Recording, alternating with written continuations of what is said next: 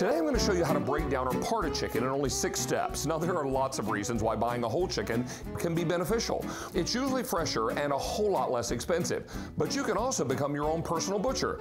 Let's say you need the breasts in some buttermilk marinade tonight for tomorrow's fried chicken lunch, but you need the wings and some buffalo sauce for tonight's big game.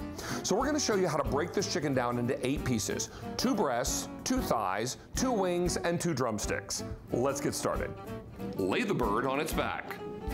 Wiggle a wing to determine where the joint attaches to the breast.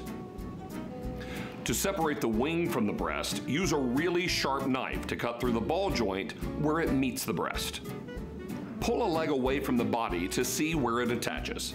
To remove the whole leg, first cut through the skin between the thigh and the breast.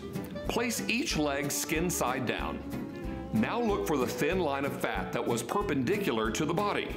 Cut through that line of fat to separate the thigh and drumstick. Now repeat all of this on the other leg. To remove the backbone, start at the head end of the bird and cut through the rib cage on one side of the backbone with kitchen shears or a sharp knife.